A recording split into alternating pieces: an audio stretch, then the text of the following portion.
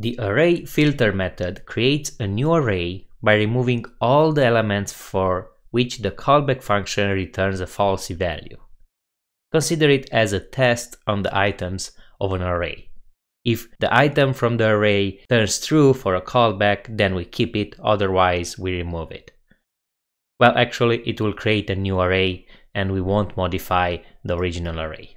Let's see how that looks in code. We have here a numbers array with numbers from 1 to 6 and let's say we want to create an array with only the even numbers from this array. So for that, let's create even and we're going to call the filter function on the numbers, which needs a callback function. This function will get a value, an index, and the array on which is called upon. I'm going to write this function here is even. We're going to get the value and also the index and the array, but we don't need it in this case. This will go as a callback function here. And we're going to return uh, the value modulus 2 equals to 0. Now, if the remainder of the division of the value with 2 is 0, that means we have an even number. Let's console.log even and see what we get. We get an array of 2, 4, and 6, which is perfect. That's what we want. Another example could be if we have an array of objects uh, representing different persons, having a name and an age, and we want to see if the person is an adult. So it has uh, the age bigger or equal to 18. So let's see how we can do that. I'm going to paste in the array of objects and then we can continue. All right, we have here the array.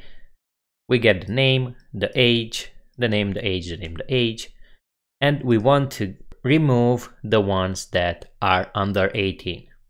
So for that, let's create an adult array, uh, which will be people.filter, and let's write this time uh, the callback function as an arrow function here.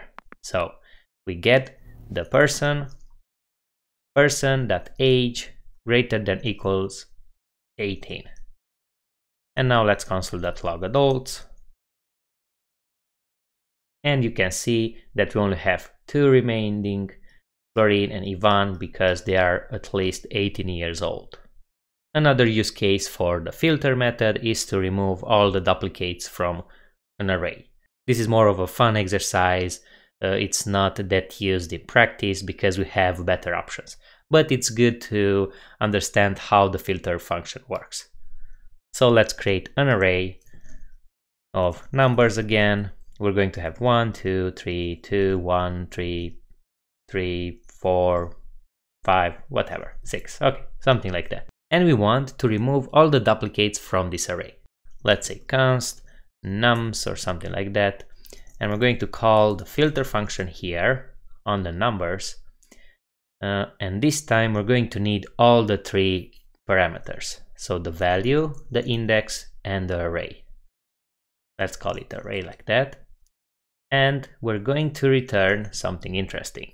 Return array that index of value is equal to index. Let's console.log the nums and see if it works. All right, look at that. So we have an array of all the numbers and removed all the duplicates.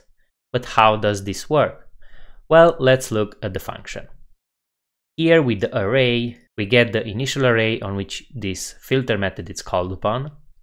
And we're checking if the index of the value is equal to the index provided. So let's say, for example, here, the one goes here and it will return zero as the index right? Because it's the first index here. We're going to check if uh, that is equal to 0, which is the index, so that's true. The same for 2, the same for 3, but now when we're checking the index of value 2, because the index of method returns the first occurrence of a value inside of an array, it will return the index of these two.